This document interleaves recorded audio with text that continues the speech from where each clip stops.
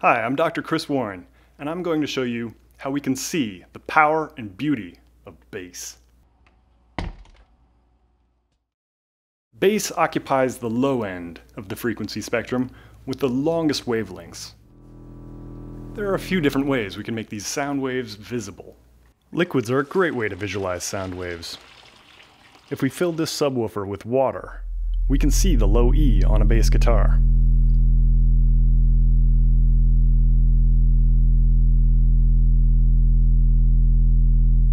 If we look a fourth higher to the A string, the waves become smaller.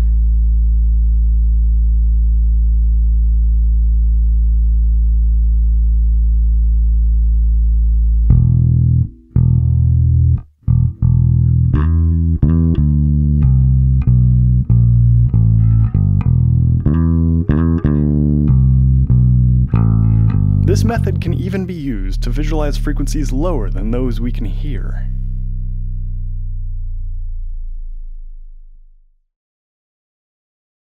Here we have a frequency at 6 Hz, or cycles per second.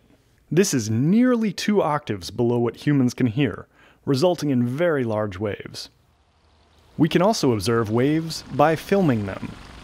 First, we attach a hose to this speaker, so the stream of water will move with the sound. As we approach 24 Hz, near the low end of our hearing range, we can observe the frames synchronizing.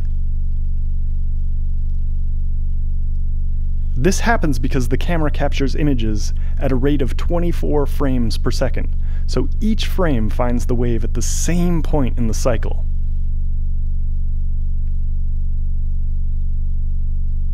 It appears as though we've frozen a wave in time.